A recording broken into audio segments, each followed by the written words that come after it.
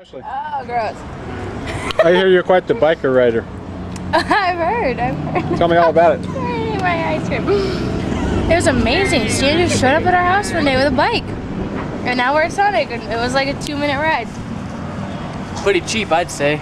Some guy takes us out for a two minute ride. no, it's a lovely bike though. What kind of experiment are you going to do now? Come again? We're gonna open up the uh, chasm while we uh, while we're going. See how long we can hold it open for before we fall. Yeah, and then we're gonna start to jump on this. Try to balance. Who's going to Gonna fall be like off and acrobats, motorcycle acrobats. Yeah, we're gonna. You be the first side to side. American ones. well, he's very lonely. He needs a friend. The poor monkey.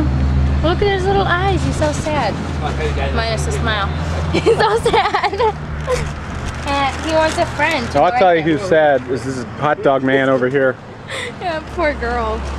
Hot dog guy over there trying to get people to come to Sonic today. And tonight for Halloween. Yep, kids get a free some corn dog. That's why she dressed up like that. Corn dog.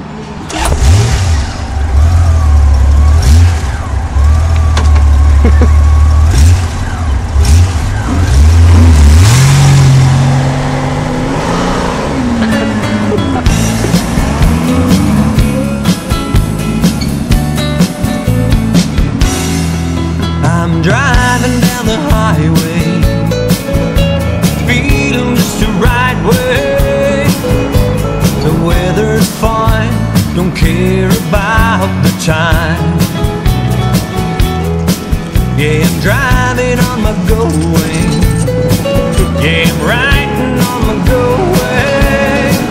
I can find a better way to spend my day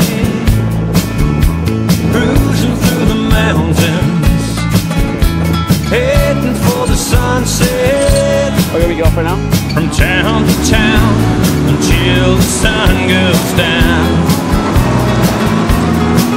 Yeah, I'm driving on my go way. Yeah, I'm riding on my go way. I can find a better way to spend my day. Yeah. Spend a fortune on my bike. It's the pleasure of my